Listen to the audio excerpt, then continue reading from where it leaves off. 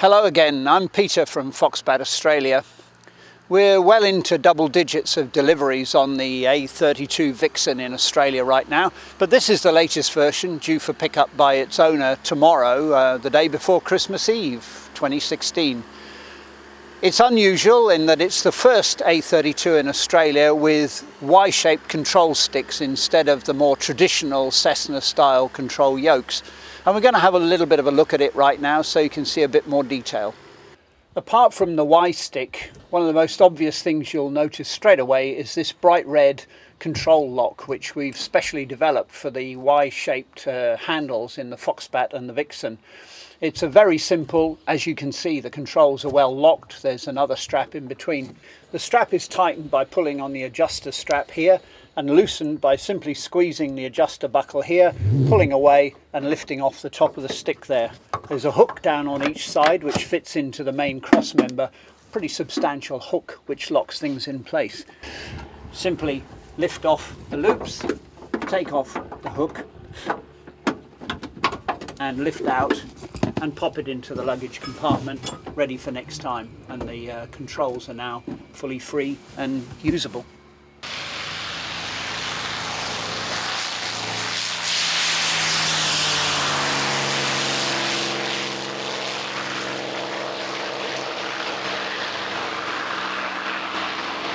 Resuming after a brief interruption to allow one of the Tayab Mustangs to take off uh, with its owner for the first time. We'll have a look again at the stick in the Vixxen.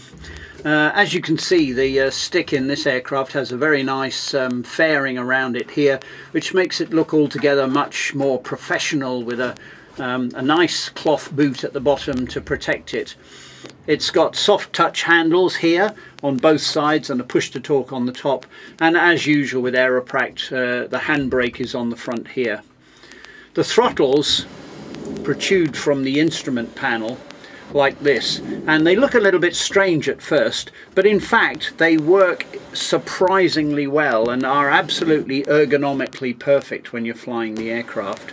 Uh, they move in and out like this. There is a throttle friction that you can adjust to um, ensure that they stay in the right position when you're cruising.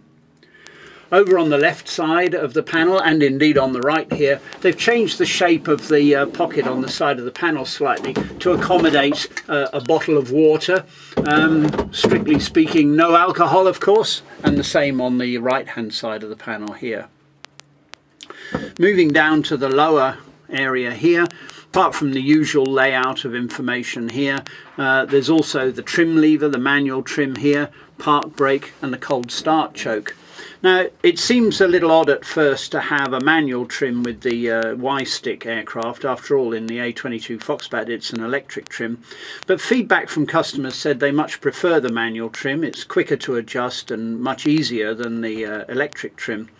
And for flying in the Vixxen, the trim changes are nowhere near as um, dramatic as they are in the A22. So you can normally position the uh, the trim lever for takeoff and normal flight and around about the central position and then when you're coming into land just simply pull it right back and the trim is then adjusted perfectly for landing. Moving over here on the panel, this aircraft is unusual in that uh, it has the Dynon screen, which in itself uh, is quite common in these aircraft, but this one has been fitted with a couple of USB sockets on the panel here, and this little dongle here is a Wi-Fi dongle, that allows you with Avplan to plan your flight on an iPad in advance and when you arrive in the aircraft uh, you connect up to the local Wi-Fi, download the uh, flight plan from your iPad into the Dynon screen here and saves you mucking around in the aircraft before flight to get things organised. While yellow is probably the signature colour for Aeroprakt aircraft in Australia, they're by far and away the most common, I think the uh, A32 Vixxen looks particularly attractive in red like this one. This is the same red as in fact the prototype aircraft I first flew a couple of years ago now in the Ukraine. But this one's been enhanced I think very nicely with the checkerboard tail and the uh, Foxhead logo there which makes it look particularly nice. Otherwise, red is a great colour for the aircraft and uh, of course you've got to remember it will go at least 10 knots faster than all the others.